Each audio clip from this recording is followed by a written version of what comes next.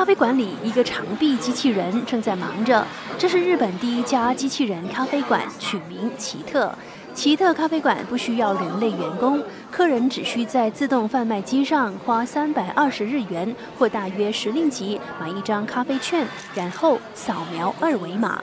吧台内的机器人接到订单后，就会开始操作咖啡机，先拿纸杯，再准备过滤网，接着搅拌咖啡豆，加热水。再把咖啡和糖放到托盘里，端给客人。这位长臂机器人咖啡师傅可以同时冲泡五杯咖啡，一杯平均要四分钟的时间。咖啡馆总经理表示，要经营一家咖啡馆，一般需要请四到五名员工。如今只需要一个机器人就能够做完一切的功夫。更重要的是能够降低成本，那咖啡就可以卖得便宜一些。这么说起来，机器人的效率还真的很高呢。可是也有人懊恼了，那机器人岂不是抢走了人类的饭碗了吗？奇特咖啡馆明天二月一号将在东京涩谷总店开业。NTV 七综合报道。